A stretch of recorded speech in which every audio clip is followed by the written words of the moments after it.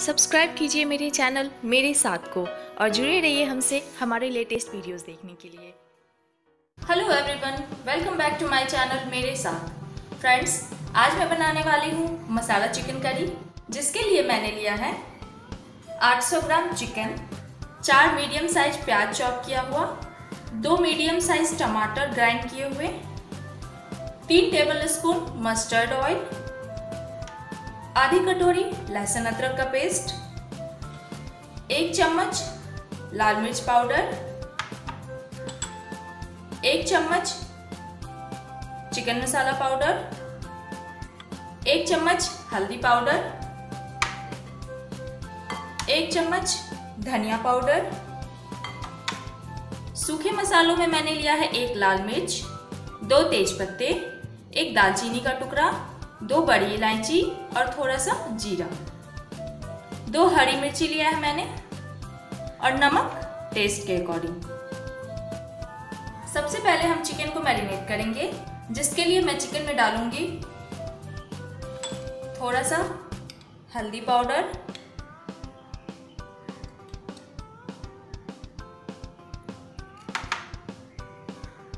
थोड़ा सा नमक।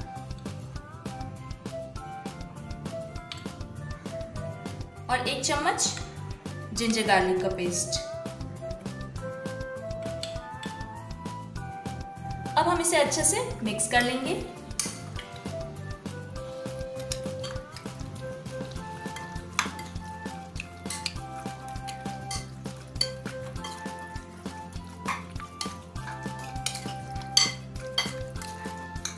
इसे मैंने अच्छे से मिक्स कर लिया है। अब हम इसे ढक करके फ्रिज में 15 मिनट के लिए रख देंगे।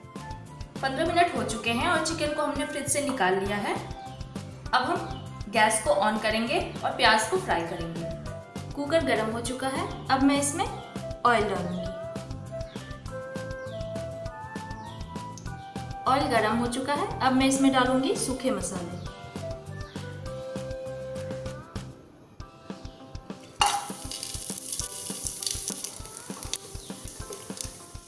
मसाले चटकने लगे हैं। अब मैं इसमें डालूँगी लहसुन अदरक का पेस्ट।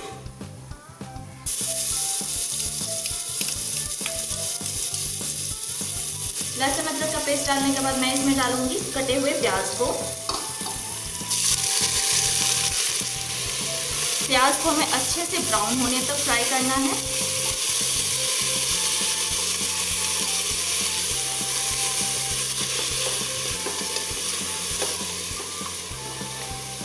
प्याज को हम अच्छे से ब्राउन होने तक फ्राई करेंगे तो इससे इसका कच्चापन चला जाएगा और ग्रेवी की टेस्ट बहुत ही अच्छी आएगी। प्याज को हम हर एक एक से दो मिनट में चलाते रहेंगे, नहीं तो जलने का ज़्यादा चांस रहता है। ये ऑलमोस्ट हमारा प्याज हो चुका है। अब मैं इसमें चिकन डालूँगी।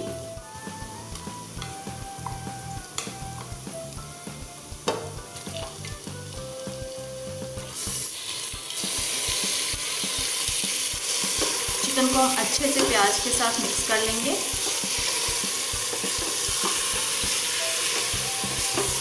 गैस को हम हाई फ्लेम पे करके दो मिनट के लिए चिकन को अच्छे से फ्राई करेंगे।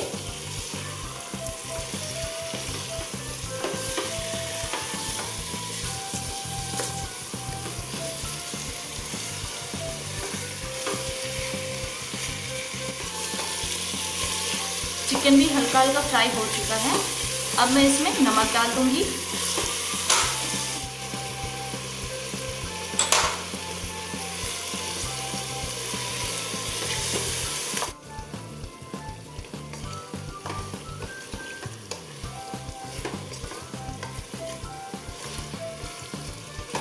इसमें आप देख सकते हैं, साइड साइड से ऑयल निकल रहा है। इसका मतलब है हमारा चिकन अच्छे से फ्राई हो चुका है अब। अब हम इसमें डालेंगे ग्राइंड किया हुआ टमाटर।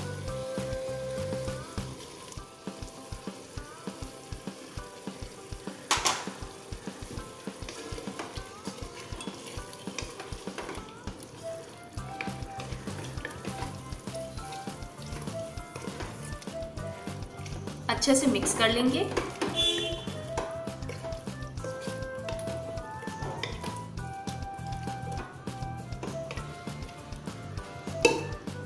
टमाटर डालने के बाद हम दो मिनट इसे चलाते हुए फ्राई कर लेंगे।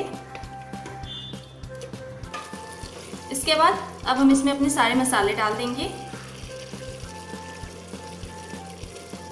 मिर्ची पाउडर, चिकन मसाला पाउडर, हल्दी पाउडर, धनिया पाउडर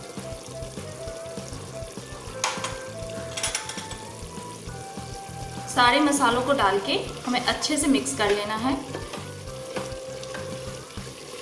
मसालों को अच्छे से मिला लेने के बाद अब हम इसे पाँच से सात मिनट तक फ्राई करेंगे। फ्राई करते टाइम हम गैस का फ्लेम लो रखेंगे और कुकर के लिड को हम कुकर के ऊपर से रख देंगे और बीच बीच में लिड को हटा के हम इसे एक बार चला लेंगे।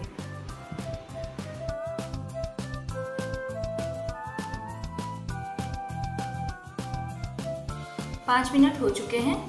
अब हम लिड को हटा के चिकन को एक बार चला देंगे।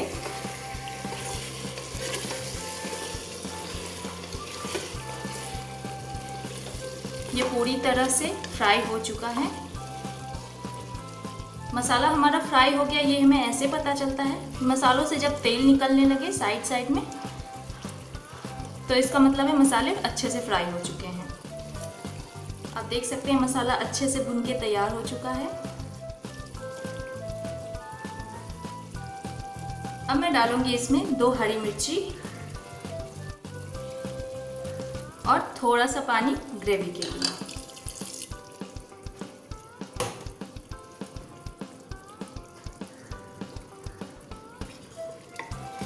अच्छे से मिक्स कर लेंगे। पानी डालने के बाद मैं इसमें लिड लगा दूँगी और एक सीटी आने तक पकाऊँगी।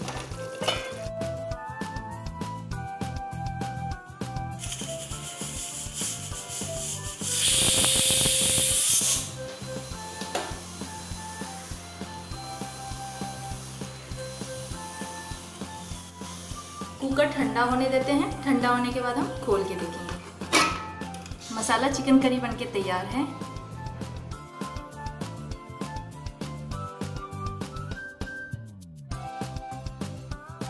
मैं आपको चिकन एक बॉल में निकाल के दिखाती हूँ।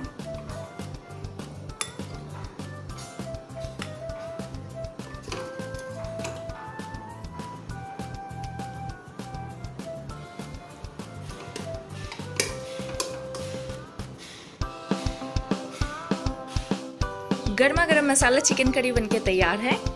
आप इस चिकन करी को चावल, रोटी या फिर किसी भी तरह के पराठे के साथ एंजॉय कर सकते हैं।